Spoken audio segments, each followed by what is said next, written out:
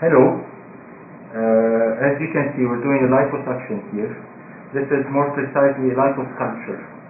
What you've already seen is the local anesthesia being infiltrated. It's a very dilute local anesthesia, just like the anesthesia one would get at the dentist. Um, a lot of fluid is injected with it so that we bloat the tissue. This is, this is why we call this tumescent liposculpture. As you've seen, it's very gentle, very little blood came out. It's very clean. Okay.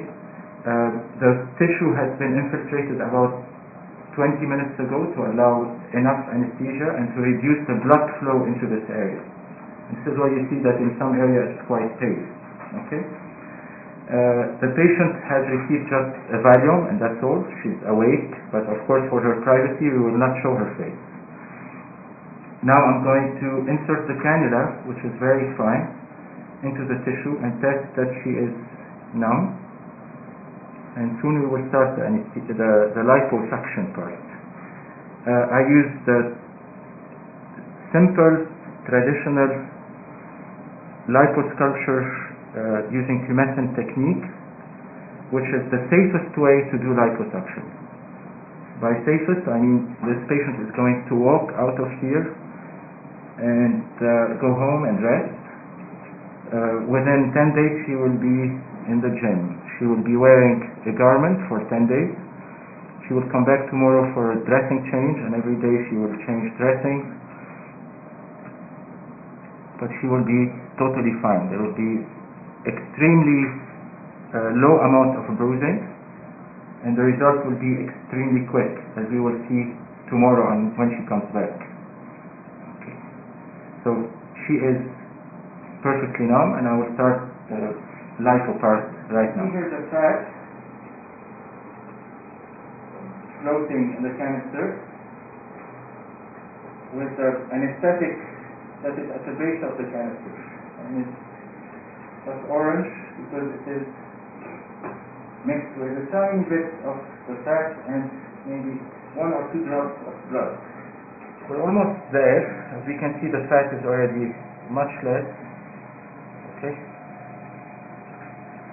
Look at the fluids that are coming out. This is the local anesthesia. It's just no blood, literally. I'd like to emphasize the safety of this technique because most problems that come with liposuction come from using general anesthesia or more advanced anesthesia than the local using local makes it extremely safe.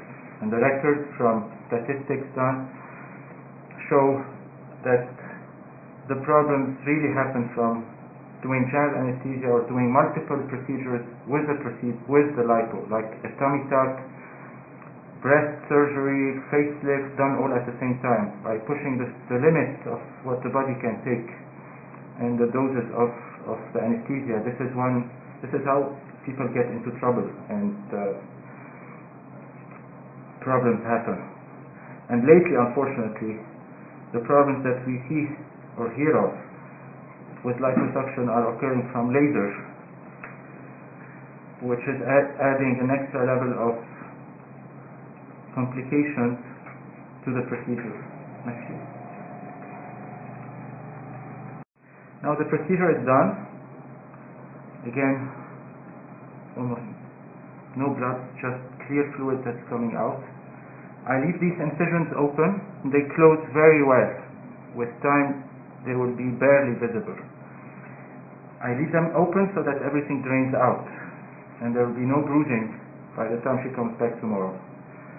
We'll show her on in three days because tomorrow is a Saturday and we're not open Saturday. And I'll show you on Monday how she's going to look. She has no bruising is fantastic. She will be changing dressing, so we'll cover these now with gauze. She'll change them tomorrow, and then the day after tomorrow, and in about three days these will be dry, and they will close on their own. Studies actually have shown that suturing makes them look worse aesthetically, so the scars heal better when they when they close like this. Okay, this is quite a perfect job. Everything is symmetric. Okay. Alhamdulillah, Salimi. Okay, this is one procedure, like most procedures in dermatologic surgery, where really uh, it's science that meets art.